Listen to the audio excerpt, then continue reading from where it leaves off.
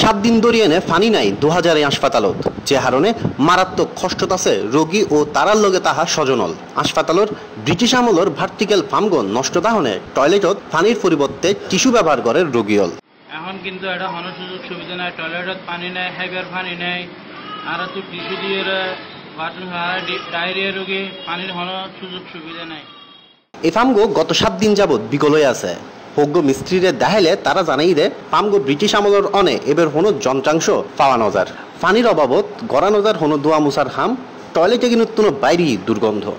এলাকার এটা বন্ডারি ইয়ে না হাসপাতালে বন্ডারি ডাক্তার হয়ে চলে গেলে বেগুন পড়ে। এখন ব্যবস্থা নম আর কষ্ট পেয়ে গেছি। এটা কোনো কিছু না পাই ডাক্তারও ভালো করি না আমাদের এরপরে একটা টয়লেট নাই, এরপরে বিদ্যুৎ সব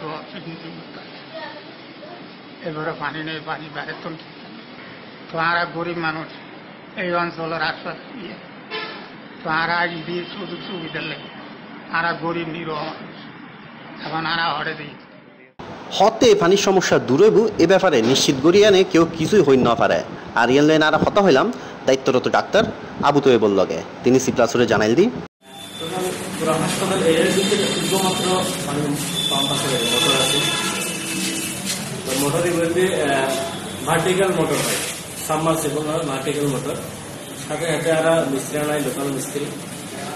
তারা সাড়ে দিতে হবে তার পক্ষে সম্ভব নয়। মিস্ত্রির বক্তব্য দিয়ে এখন সমস্যা হচ্ছে মানে মাটির ভিতরে বুঝছি না?